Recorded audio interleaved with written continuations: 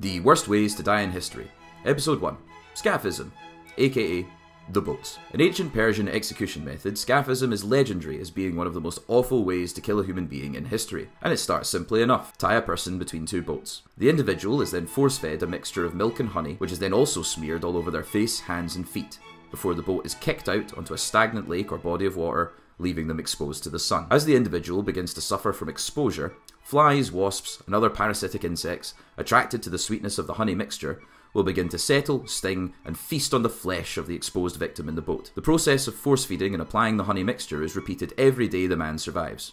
At the same time, his belly, distended as it is with milk and honey, will eventually excrete. The putrid collection of honey and bodily fluids breeds swarms of worms and intestinal parasites from the stagnant water. Thus, the victim lying in the boats their flesh rotting away in their own filth and devoured by worms, dies a lingering and horrible death.